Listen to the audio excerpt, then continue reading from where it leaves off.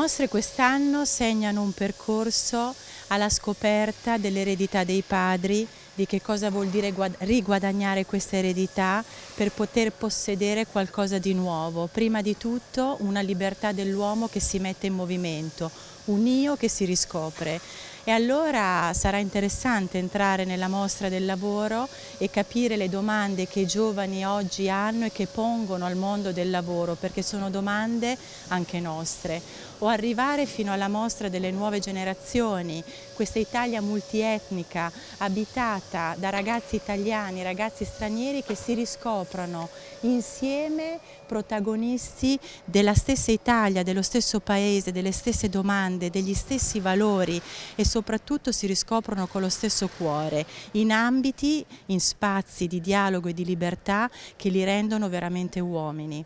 oppure la mostra dell'arte contemporanea in cui eh, gli artisti ci faranno incontrare le loro opere, sette artisti per sette opere e vedremo come ci richiamano al passato ma sono totalmente nuove. E sono opere che ci parlano dell'oggi, dell'attualità, di quello che oggi l'uomo è per arrivare alla mostra della Terra Santa di Gerusalemme, più precisamente della Custodia. Sono 800 anni che San Francesco mandò per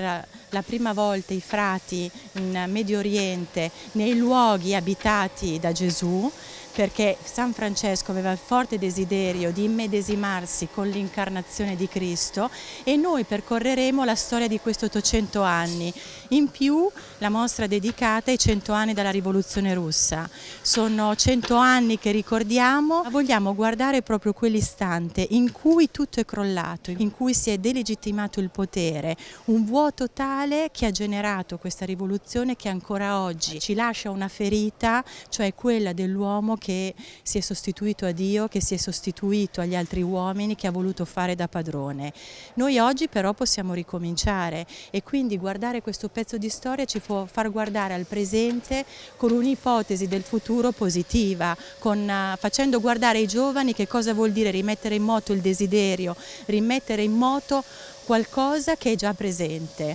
Ecco, le mostre saranno tutto questo percorso, sono ricche di testi, di citazioni, di immagini, di musiche, di video che eh, renderanno più chiaro il titolo del meeting di quest'anno.